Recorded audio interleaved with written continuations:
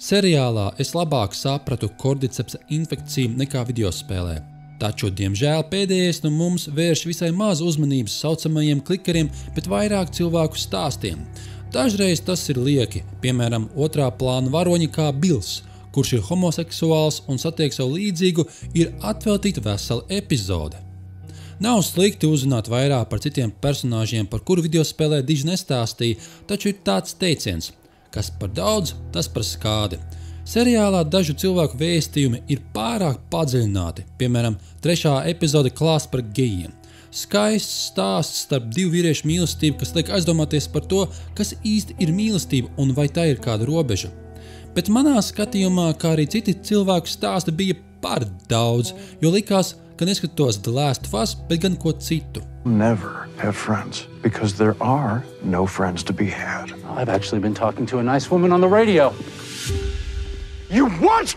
Sekojot līdzi stāstam, radās iespējas, ka seriāla veidotāji Kreigs Mezins un Nils Drakmens video spēles scenāriju ir ņēmuši vērā pārāk nopietni, jo tā kodols ir tāds pats kā video spēlē.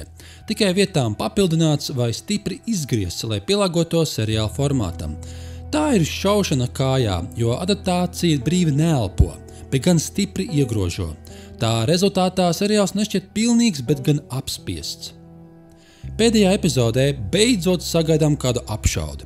Tādu kopumā ir visai maz, izņemot piekto sēriju, kura asa sižeta mirkļi, šāvieni un sprādzieni netrūka. Tā manās acīs ir labākā epizode, jo tajā bija te vai viss. Starp Joelu un Elīju virmoja spēcīgas emocijas, asas darbības, infekciju pūles, lielais mutants, straujies sižeta pavērsieni un tā tālāk. Bet pēdējā epizodē, kur video spēlē Joels pamatīgi cīnās, lai nokļūtu līdz Elijai, seriālā tu vispār nevari izjust. Ainas laikā pēc ainas katra izklāstīta īsa, bez piesātinājuma un spēcīgs apšaudas, kur pirmie fragmenti vēl ir labi, bet pēc tam primitīvi skatām. Es nejūtu, ka Joels iet cauri ugunī, lai atrastu Eliju, kā tas bija video spēlē.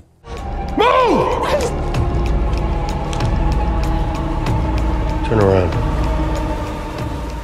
The Last of Us sērijas notikumi un komunikācija varēja būt labāk atveidoti. Tās vietām šķita nepilnīgas. Respektīvi, Salt Lake Cityjā, kur Joels apsēž un emocionāli atveras, stāst Elijai par savu pagātni, bet, lai arī tas bija efektīvi, es nenoticēju, jo dialogs nebija pietiekams. Emocionālais brīdis pāragri noslēdzas.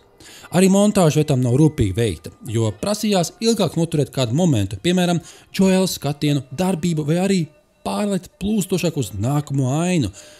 Taču bieži to sasteidz un pārauj.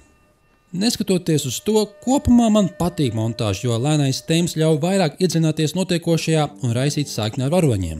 Piemēram, Perijs, bijušais kareivis, kas ieņem mazu lomu, bet veids, kā viņš tiek prezentēts skatītājiem ar montāžu un atveltīto laiku, ir ļoti labi izdarīts. Es viņam pieķēros, un nākamajā mirklī notiek kas šokējošs, un man rūpēja. Vizuāli seriāls ir gan labs, pārliecinoši spēcīgi un datorgrafika, ka nevienu mirkli man nelikās, ka kaut kas niet kopā. Nekas nešķita nedabiski vai dīvaini. Jebkura aina, kur redzēju, mani pārsteidza, cik ticama tā ir uztaisīta - pilsēta un daba postakliptiskā pasaulē. Un žirafe, kā izrādās, ir īsta, nevis datora radīta. Ar datorgrafiku lielākoties attainoja The Last of Us pasauli, sagrauta pilsēta apaugusi ar zālēm un sūnām. Kaut tas arī nav reāls, nevienu mirkli nešķita, ka tie nav īsti. Aktieri dara savu darbu profesionāli. Pedro Paskals, ja ne uz visiem simts, lieliski attēlo Joelu, un man neradīja šaubas. Un, lai arī Bēla Ramzīja ļoti labi spēlē Elīzes lomu, tajā kaut kas trūkst, kaut kāda dzirksts, jo viņa nepārliecina, ka viņa tiešām ir Elīja. The Last of Us seriāls ir laba un cienījama spēles adaptācija. Taču tā nav tik iespaidīga kā video spēle. Spēlē attiecības starp Joelu un Elliju izstāsta meistarīgāk, jo seriālā ainas ir vienkāršs, kas atgramo video spēlē paveikto. Turpretī spēlē īsumiņas ir dziļas un lieliski uztaisītas. Tās rada momentu un to notur, nevis pārauj un sasteidz. You have a greater purpose than any of us could have ever imagined.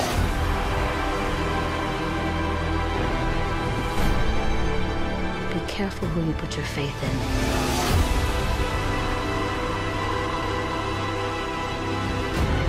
Might not be her father, but you're someone's.